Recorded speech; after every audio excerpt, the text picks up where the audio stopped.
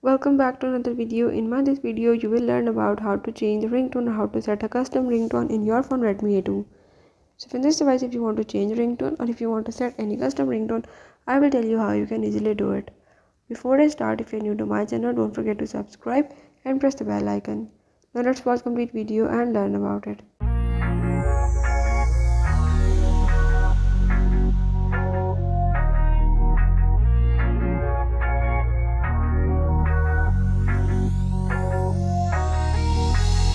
Thank you.